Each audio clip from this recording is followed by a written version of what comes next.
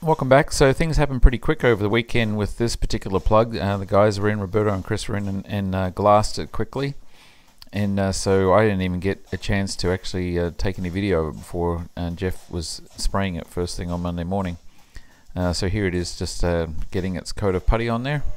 And it wasn't long, around about lunchtime, we had it up on the machine and milling it. So not wasting any time in here. You can see just starting out with the ball mill just on these uh, corners of the flanges there that are sort of rounded so you need to do those with the ball mill. So I decided to do that first because the flat mill passes were going to take a while.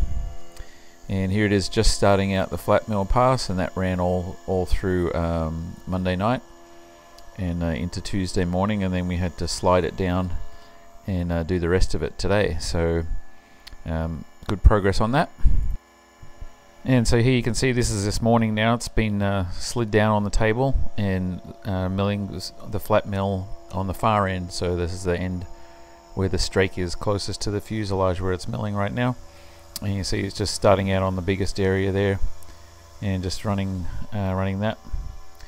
So we didn't have any problems with this one. Um, everything went fairly smoothly. Um, so didn't have to uh, redo anything, which is good news.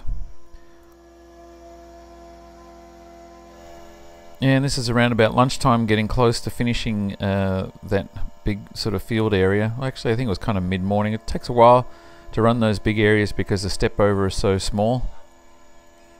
And this is um, the upper uh, left strake, uh, wing strake, and see Zach's uh, carefully sanding that. We don't want to mess that one up because the airfoil is really critical there, so he's being very meticulous with his sanding.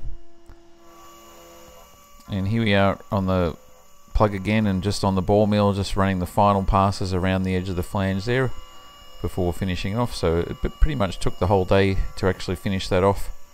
Um, so that's one down and uh, three more to go in terms of the big wing skins. And also over the weekend the guys uh, Roberto and Chris they trimmed a whole bunch of these molds that had been done. So that was the um, lower air intake tray and this is the air intake scoop. So they trimmed those and they also did the ones for the doors and the cowling one and the dash one. There was a whole bunch of them that they did so they really were working hard on the weekend. And uh, here's the different ones the doors here ready uh, with those braces that uh, I cut the other day. So those are gonna get uh, um, glassed into place uh, soon actually probably with carbon fiber to match the molds because we want to keep the materials the same and then uh, that mold will be ready to lay up the door skin so that's uh, coming along. And here's Zach just taking the peel ply off of the uh, the rear seat mounts um, mold uh, so that can get its uh, layers of uh, heavy glass put on there.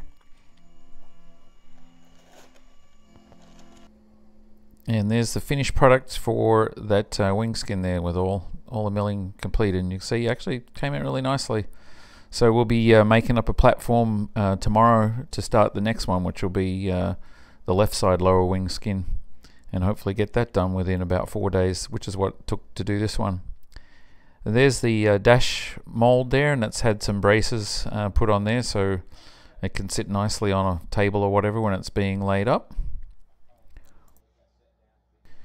And Roberto and Chris are back in this evening, and so here they are putting the heavy layers on the um, mold for the front seat mounts. And you see actually putting a bit of a mixture here. So they're putting glass, but also some carbon fiber. And the reason why they're using the carbon fiber there is just it's it molds more easily around complicated um, corners and stuff than the glass does. So that's why you see the two different uh, things going on there.